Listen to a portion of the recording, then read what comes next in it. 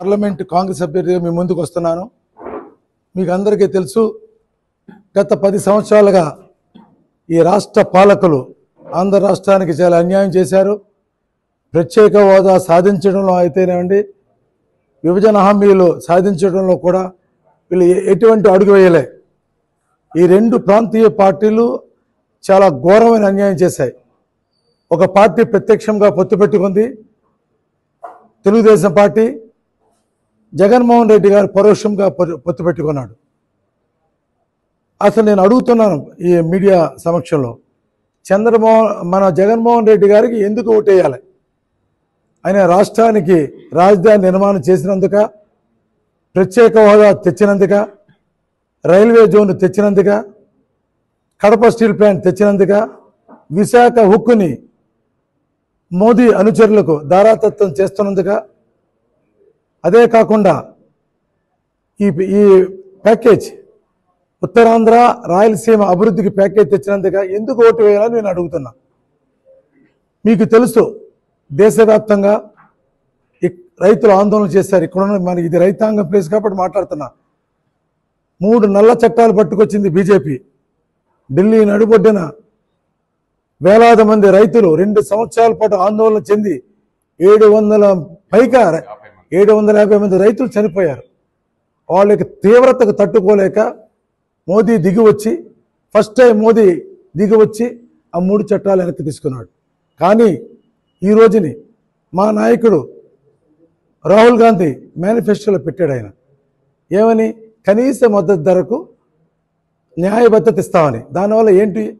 కనీస మద్దతు న్యాయబద్ధత అంటే మీ పెట్టుబడికి యాభై శాతం లాభం కలిపి కనీస మద్దతు నిర్ణయిస్తే వాళ్ళకి గిట్టుబాటు వస్తుంది. ఆ, స్వామినాథన్ కమిషన్ బేసిస్ మీద ఇస్తున్నాడు ఆయన. దానివల్ల వాళ్ళకి గిట్టుబాటు ధర వస్తుంది. ఏ ప్రభుత్వం వచ్చినా కూడా దీన్ని ఒక చట్టం చేస్తున్నారు.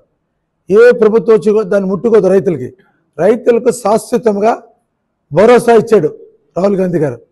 అదే కాకుండా మీకు తెలుసు కాంగ్రెస్ గత చరిత్ర. డెబ్బై ఎనిమిది వే- సోనియా గాంధీ యూపీఏ చైర్పర్సన్ ఉన్నప్పుడు డెబ్బై ఎనిమిది వేల కోట్లు రైతు రుణమాఫీ చేసిన ఘనత కాంగ్రెస్ పార్టీకి ఉంది. నేను కేంద్రంలో ఎన్నో పదవులు చేశాను ఇక్కడ పార్లమెంట్ అభ్యర్థిగా వస్తున్నాను. నాకు అనుభవం ఉంది. నేను పొగాకు అభివృద్ధి మండలిగా ఆంధ్ర రాష్ట్ర తెలుగు పొగాకు రైతులు నా అంత సేవ చేసే వాళ్ళందరికీ తెలుసు. వాళ్ళు ఢిల్లీ వచ్చి ఏ ఇష్యూ మీద వస్తే కూడా ప్రధానమంత్రి దగ్గర తీసుకెళ్ళి ఫైనాన్స్ ఫైనాన్స్ మినిస్టర్ దగ్గర తీసుకెళ్ళి వాణిజ్య మంత్రి వ్యవసాయ మంత్రి తీసుకెళ్ళి వాళ్ళ ఇష్యూస్ని అడ్రస్ చేశాను. అదేవిధంగా నేను బ్యాంక్ డైరెక్టర్గా ఉన్నప్పుడు బ్యాంకులో చెప్పాను ఈ కోస్టాంధ్రాలో కొబ్బరి చాలా ఇంపార్టెంట్ దానికి స్పెషల్ స్కీమ్ పెట్టించాను. ఓరియంటల్ బ్యాంక్ ఆఫ్ కామర్స్లో కొబ్బరి రైతులు ఆదుకోనాకి వాళ్ళకి రుణాలు చాలా ఎక్కువ ఇచ్చేలాగా ఒక స్కీమ్ పెట్టించాను. ఫస్ట్ టైం నేషనలైజ్ బ్యాంక్లో మే పదమూడవ తారీఖున పార్లమెంటు అసెంబ్లీ ఎన్నికలు జరుగుతున్నాయి. ఈ ఎన్నికల్లో దేశవ్యాప్తంగా ఇండియా కూటమిగా మేము పోటీ చేస్తున్నాం. ఈ ఆంధ్ర రాష్ట్రంలో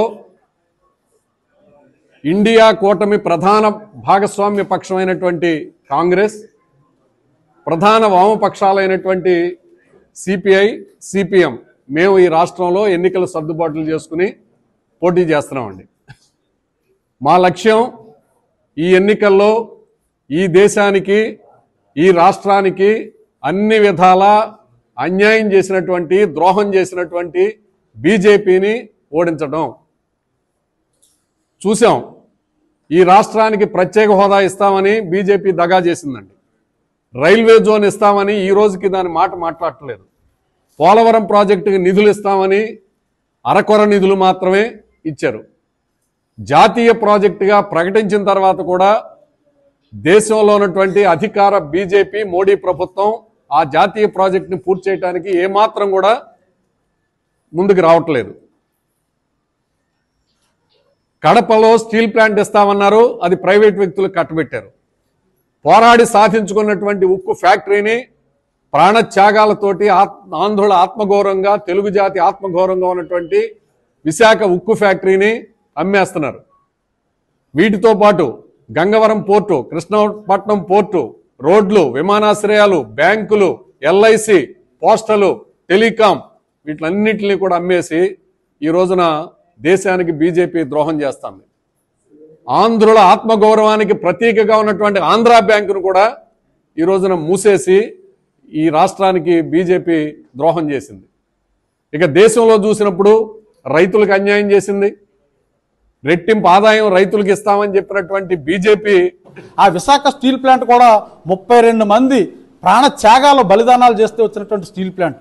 ఇవాళ దానిని కూడా ఇవాళ అదానీ లాంటి వ్యక్తులకి అప్పచెప్తా ఉంటే ఇవాళ రాష్ట్రంలో ఉన్నటువంటి ప్రధానమైనటువంటి అధికార పార్టీ జగన్మోహన్ రెడ్డి గారు కానీ ప్రధానమైనటువంటి ప్రతిపక్షంగా ఉన్నటువంటి చంద్రబాబు నాయుడు గారు కానీ ఇవాళ జనసేన అధినేతగా ఉన్నటువంటి నేను ప్రశ్నించడానికే రాజకీయ పార్టీ పెట్టానని చెప్తున్నటువంటి పవన్ కళ్యాణ్ కానీ చింతిత్ మాట కానీ మాట్లాడుకోకుండా ఇవాళ మొత్తం బేషరత్తుగా ఇవాళ మోడీ గారికి ఇవాళ జగ జనసేన తెలుగుదేశం పార్టీలు ఏ కూటమిగా ఉంటే బి కూటమిగా ఇవాళ వైఎస్ జగన్మోహన్ రెడ్డి గారు ఉన్నటువంటి. అంటే వాళ్ళ ప్రత్యక్షమైనటువంటి పొత్తు వాళ్ళు పెట్టుకున్నారు పరోక్షమైనటువంటి పొత్తు వీళ్ళు పెట్టుకున్నారు. దేనికి పెట్టుకున్నారు? ఈ రాష్ట్ర ప్రయోజనాలకు సంబంధించి కేంద్రం కానీ నరేంద్ర మోడీ కానీ ఏ ఒక్క హామీనైనా అమలు జరిపారు. అమలు జరుపుకుంటుంటే వాళ్ళు పొత్తు పెట్టుకున్నా పర్లేదు.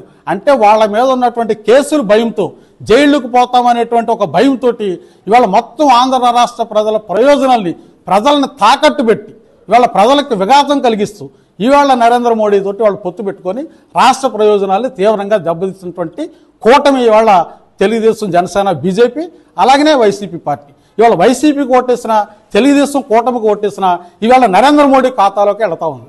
ఇట్లాంటి రాజకీయ నేపథ్యంలో? ఇవాళ నరేంద్ర మోడీ రాష్ట్రానికి చేసినటువంటి ద్రోహం ఆయన ఇచ్చినటువంటి హామీలు అమలు జరపనటువంటి పరిస్థితుల్లో ఇవాళ మొత్తం నర్సాపురం నియోజకవర్గంలో ప్రజలంతా కూడా ఒక నిషిద్ధ విప్లవం ఇవాళ ఉంది.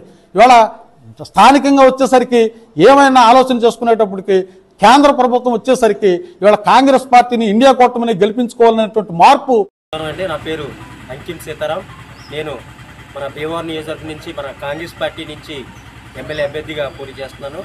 నాకు సపోర్ట్గా మన సిపిఎం సిపిఐ మద్దతు తెలిపారు. అలాగే ఈ రోజున మన ఇరవై ఐదు వార్డులో మా అక్క ఆధ్వర్యంలో ఈ రోజున సెల్వేన మన మేడం గారి ఆధ్వర్యంలో ఈ రోజున డోర్ టు డోర్ ఇంటింటా కాంగ్రెస్ క్యాంపెయిన్ జరిగింది. ప్రతి ఒక్కరూ కూడా కాంగ్రెస్ పార్టీ అనగానే ఎంతో మంచి ఉత్సాహంగా అందరూ కూడా బాగా ఆదరిస్తున్నారు. ఆ, నీలాంటి కావాలి. గతంలో ఇద్దరు ఎమ్మెల్యేలను చూసాం. వాళ్ళిద్దరూ కూడా కాంగ్రెస్ నుంచి వచ్చిన వాళ్ళే. నీలాంటి ఎమ్మెల్యే నీలాంటి ఒకడైతేనే మాకు భీమవరం అభివృద్ధి జరుగుతుందంటారు కాంగ్రెస్ పార్టీ ఎన్నో మంచి అభివృద్ధి కార్యక్రమాలు ఎన్నో పెట్టింది. ఒక తొమ్మిది గ్యారంటీలని మంచి సంక్షేమ పథకాలు ఏర్పాటు చేసింది. దాంట్లో ముందుగా ప్రతి పేద మహిళకి ప్రతి నెల ఒకటో తారీఖున ఎనిమిది వేల మూడు వందల ముప్పై మూడు రూపాయలు ప్రతి మహిళ అకౌంట్లో పడిపోతే సంవత్సరానికి లక్ష రూపాయలు. అది కేంద్రంలోనూ రాష్ట్రంలోనూ వర్తిస్తుంది. మన కాంగ్రెస్ గవర్నమెంట్ వచ్చిన వెంటనే ప్రతి పేద మహిళ అకౌంట్లో ఎనిమిది వేల మూడు